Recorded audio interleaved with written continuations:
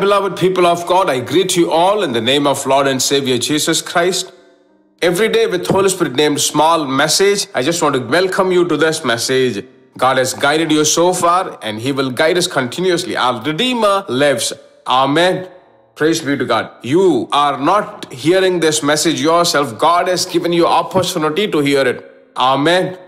Early in the morning at 5:30, this uh, message has been recorded and uploaded to you. Okay, but uh, I don't know at what time you are seeing it, but I believe that this is the word of the heart to you. I tell you, this is a prophetic word of this hour for you. In this God's time, what God is speaking to you, let me take you to Ephesians chapter 6, verses 18. Praying always with all your prayer and supplication in spirit, being watchful to this end with all the perseverance and supplications for all the saints. In one word, if you say, praying in the spirit and being watchful, praying in spirit. Prayer means we can pray in Hindi, English, or Tamil, whatever language it is. In different languages, we can pray. We all know that. But praying in the spirit means, for example, we are guided by the Holy Spirit, right, every day. We say, Lord, you guide us, you speak to us, Lord, you do it, Lord. If it is your will, I'll go, or else no, Lord. This is what we live in the Spirit. I believe that you are living such a life.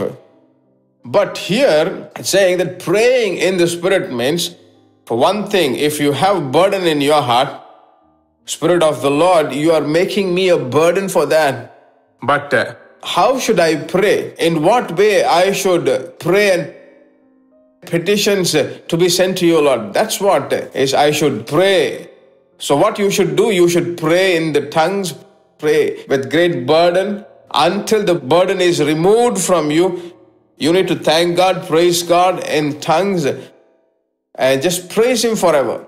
Then, when you surrender yourself into the hands of the Lord, if there's a burden which is incapable for you, which is not tolerable to you, you should say, Lord, this I am unable to handle it. I don't know how to pray. When you speak in tongues continuously by saying that, I tell you, every promise will display. It will come in front of your eyes. It will come in your thoughts. And immediately when you confess those uh, promises, I tell you, God will give you new strength to you and you will be comforted. And uh, a great comfort will come into your heart and you will know that, Lord, you heard my prayer. I thank you for that. That's what we call it as praying in spirit. In this experience, there may be some people who go every day to their works and they will not have time to pray. At least once in two days, you should give such time for prayer and you should come to the presence of the Lord. I tell you, you should come to the presence of the Lord. I tell you, you will be blessed. Be bold, God will take care of everything. God will be your shield. Don't be worried about it. He will take care of everything. Okay? We'll see you again. Don't uh, forget to share to other people. You should pray more for the Hindi speaking people. Thank you. See you again. Our address Jesus Meets Ministries, number 4 Kavarapalayam Main Road, Abadi, Chennai 54, India. Telephone number 9841252836 7299546363.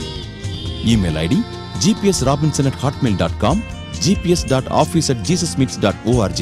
Website address www.gpsrobinson.org.